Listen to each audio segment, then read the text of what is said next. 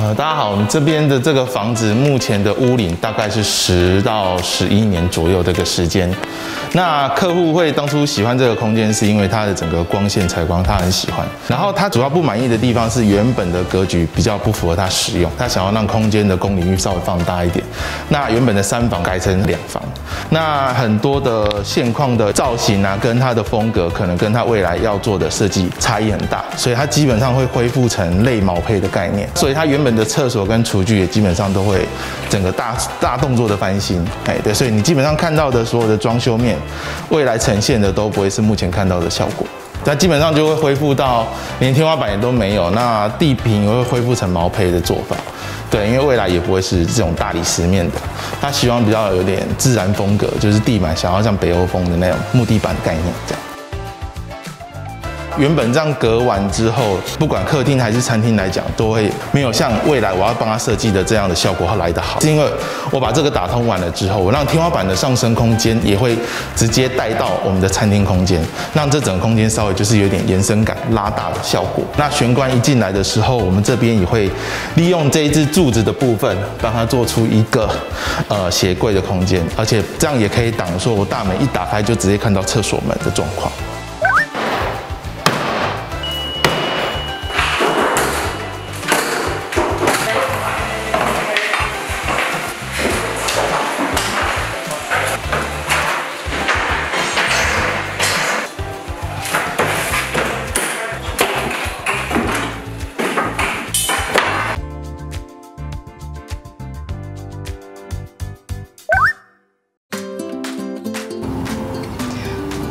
总监的影片，我想各位观众朋友对于我们今天要介绍的空间有一个初步的大概的了解了哦。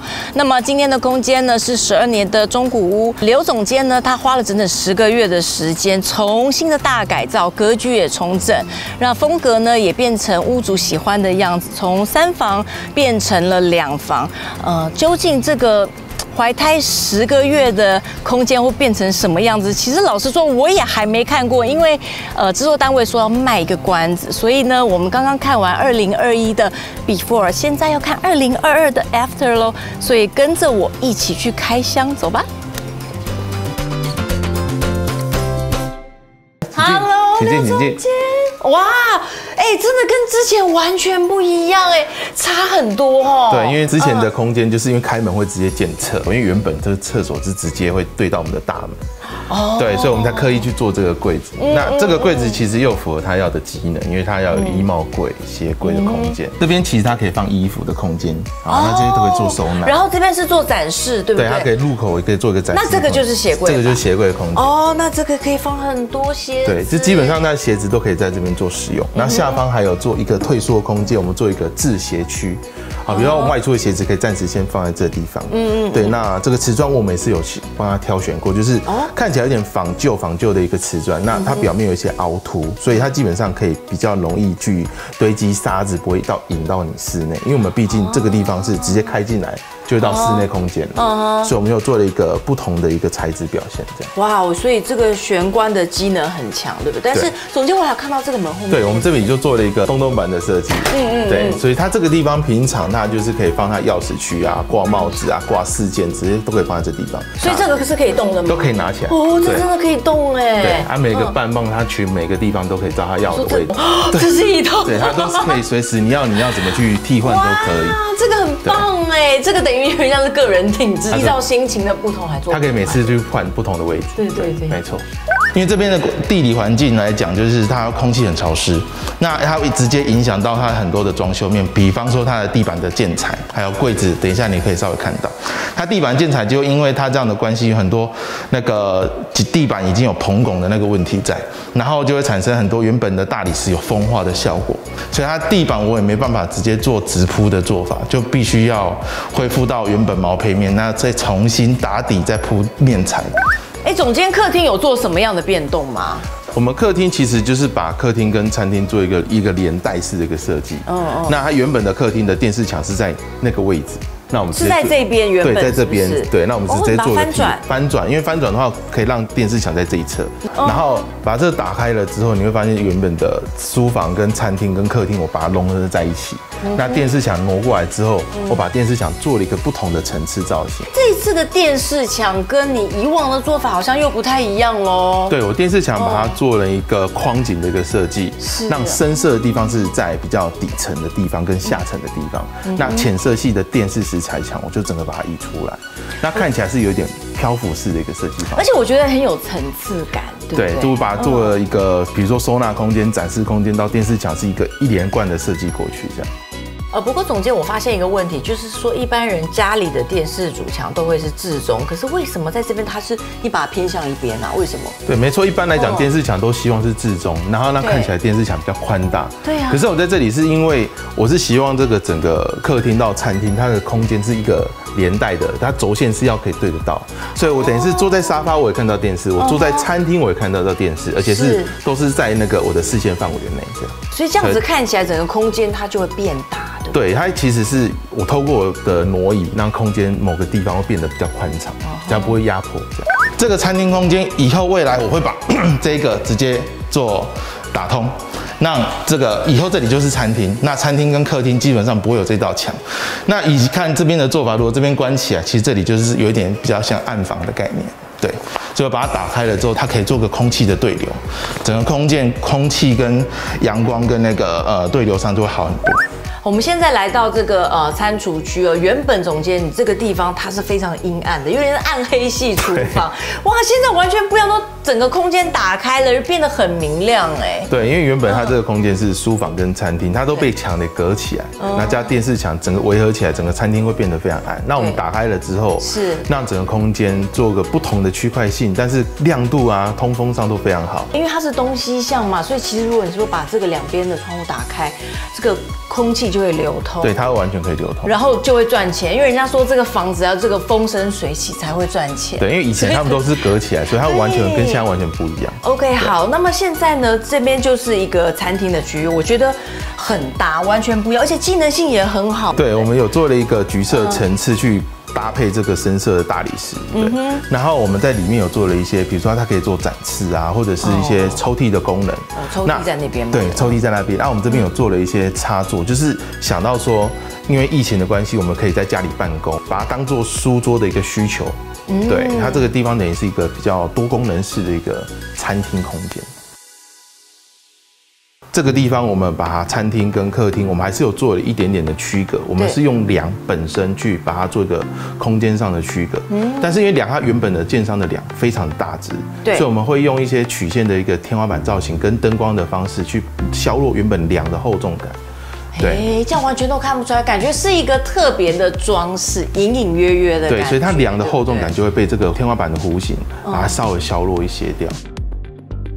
还有总监，我发现你这个场域呢，这一次的这个灯光做的还蛮不一样的哦。因为我们这里有考量到说，它整个大面积的开窗，它整个空间其实亮度是够的。嗯，那我们在灯光的布局上，我们会希望就是做重点照明就好，嗯我们不会把它补到非常的亮，因为这个空间其实灯光配置基本上都已经有符合到他要的需求，其他部分我都做主照明就好，我没有那么多的间接照明，把它做在天花板上面这样。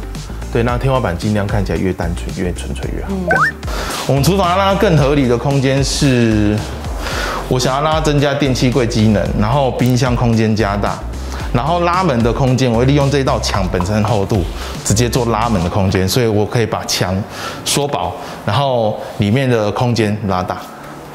然后这边的很奇怪的机型角度是这样，一般我不会直接拿出来都到这边，一般是这个会在这里，然后有个切台，对，那切台下面刚好是洗碗机，那这样的话就是，他是想要就是这个会拿掉啊，因为他可以在洗碗的时候看到前面的就是永久动具的这种感觉，这种概念，这样。餐厅的旁边就是厨房，我记得总监的厨房原本就不小，但现在怎么看起来又更大？你做了什么？对，我们其实都希望把厨房做一个延伸，嗯比如说在这你的后方，我们就有做了一个餐酒柜。哦，对，那这个餐酒柜其实它当初的柜子的深度是够，你比如我们要做鞋柜，其实深度是够的。但是因为我们做一个双面柜设计，所以这里就变成一个餐酒柜跟收纳的机能在这个地方。哇哦，所以这个柜体是双面的，好厉害哦！这个厨房真的太大了吧？哎，这个真的很大，我觉得这个是一般来说那种有六七十平的那种家的厨房的尺寸呢。因为我们要把它加入一个储藏室的收纳机能，所以我刻意把厨房拉大。那拉大完之后，我们有把这三件事做成一个黄金三角，从水槽到瓦斯炉到冰箱，它是一个黄金三角，跟原本它建双在配的时候，它的水槽跟瓦斯炉两者相间太近。变成说我们在料理上有一些空间上就变得会很破碎，对，那我们就把整个你后方的琉璃台我们就会加大，然后变成是一个它的一个呃切台区，它的一个料料理区变得比较完整。对对对，因为我记得原本炉子在这边，炉台在这边，对不对？然后呢，呃，这个水槽的上方的这个玻璃也是小小，你就把它放大了，对不对？因为当它可以洗碗的时候，可以看到就是有有有很大的一个圆形，对。哎，这样很棒！我觉得这种厨房，就算不会做菜，来到这边都会想要学做菜，对不对？最想要改就这个，这我这我一进来就直接跟客人讲说，这个我一定要改掉，所以一定要做成这边是个正常墙，这边是门，这样很不然这个很奇怪。对，然后利用我会把这个敲敲掉，让这个空间感觉是比较大一点，但是其实是这里这里会敲掉，这一段敲掉之后，这个就是以后的储藏间。因为有这样的深度，所以我们可以做储藏室这样。哦哦，原本它的原本是这样子嘛，原本是凹进去的墙面，我把它拉出来就多一个储藏室空间。因为这样的话，我们的厨房就可以拉出来，只是很棒，对，一举两得的一个效果。怎么会把这个空间变出来？我觉得这是设计师。对，因为这个空间还是需要一个储藏间。这个储藏间，我们除了有一些小小事以外，我们在这个走道上也做了一个不一样的变化，就是我们在天花板这个做了一个线形的轨道。对，那这个线形轨道其实它除了可以装灯以外，然后它其实视觉上也会有引导，说我们可以走过去这边的一个指引效果。然后我们有个变动，就是比较大的地方就是这间厕所。哦，对，我看一下啊，我知道你变在哪里，总监。对，因为原本这间厕所是两个门。对，然后它就是这个可以连接到隔壁的房间，可是我们觉得现在目前这样的做法是比较有一点老派的做法。那我们现在的做法就是希望说这间就独立一间厕所，一个单一的门就好。所以在整个空间，我们的墙也比原本的稍微再放大一些。有，我有觉得怎么又比之前的还要大很多。对，那空间整个都放大了。对，想说你又做了什么？原来是这样。大家就主要是变化在这个。这个是客用，因为那时候还有一间次卧。对，我们还有个次卧是从这边。哇，这个景色也太美了吧！对，哎，这个不是主卧房哎，这并不就这么漂亮，这么大，对，所以它这个空间看起来就是这个景是最主要我们要想要呈现的地方。OK，对，然后透过这个么字形的那个台面，我们可以把整个延伸过来到我们的床的这边。嗯，对，所以这边感觉我们就至少把这个空间台面把它做出来。哎，我觉得这个房间很棒哎，它就是很放松，然后一进到这边呢，就会感觉好像很想要休息，很想要睡觉的感觉，对不对？对，这边请很大耶。对，我们进来会有先做一个男主人的一个衣帽空间。男主人，对，男主人衣帽空间在这个地方。所以我们把男生跟女生稍微分开，稍微分开一些。然后这里是他们的个包包柜空间。对，那两边也是哦，也是。对，两边全都是收纳衣橱。对，哇，两边的对称的，两两对称的一个空间。主要是我们有故意把这个空间比例都拉大，这个原本的走道其实是很小，嗯，那我们把这个放大，然后台面也加深，因为原本台面只有这么的深度，宽度也都是完全是之前比例的两倍大小。我这里就做成是那个埋壁型的龙头，所以它所以它台面上会比较干净，所以拉大的情况下，我们这里就可以放浴缸了。对，这一定要有浴足，我怎么可能没有浴缸？这样不行了。对，因为原本这里是淋浴间，然后浴缸是在后方。对，但是浴缸会塞在这个角落变很小，所以我们等于可以做一个独立缸的一个做法。对，那这个是屋主的要求，他要独立缸。独立缸我就把它尽量做在干区的地方，让淋浴间就整个这里是直接封起来，这边就是当淋浴间，直接就是整面都是淋浴间。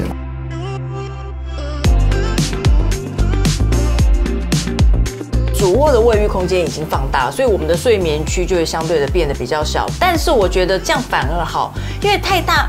哎，没有安全感，这样子比较有安全感。对，我就有考虑到它的一个空间的尺度，所以我就把两侧还是有做出一个走道的范围。但是你会发现，比原本的主卧的空间稍微小一些，但是我还是有考量到它该有的一个尺度。我尽量是希望让整个空间是在浴室跟更衣室把它空间释放出来。一定要有更衣室啊，对不对？女生怎么可能没有更衣室呢？这样我会生气哦。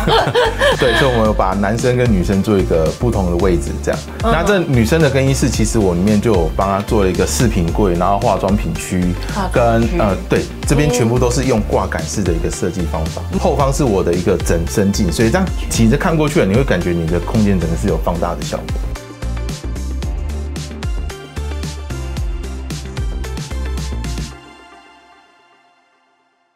今天的空间是一个十二年的中古屋，所以总监你完全等于就是说你全部打掉，打掉重练。那我相信家里很多人都会想说，哎，我可能要翻新，或者我没有翻新过，他可能就装修小白啦。所以这方面有没有什么要注意的地方？总监可以告诉观众朋友。好，我觉得可以分成两个面向，一个就是说，如果你想要一个大变动的话，那我们就会倾向建议是你的格局要去做探讨。那第二个是，如果你只是小装修的话，我们通常会建议是水电管路的部分要去做替换，因为毕竟时间拉长了，再往后个十几二十年的使用率的话，我们就会建议你的电线要更换。那二十几年前的管线，我们都会建议是水管的部分也要替换，因为以前可能是铸铁管，它容易会有堵塞或者是生锈的状况，那我们都会建议换成不锈钢管。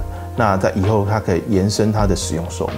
我觉得总监你还少讲了一点，就是要找到一个像你一样优秀的设计师，然后呃有一个完善的沟通，然后想的永远都是比屋主多，然后长远。那甚至我觉得屋主在这个屋子里面住二十年、三十年都没有问题。那么非常期待再一次再看到我们的刘总监喽。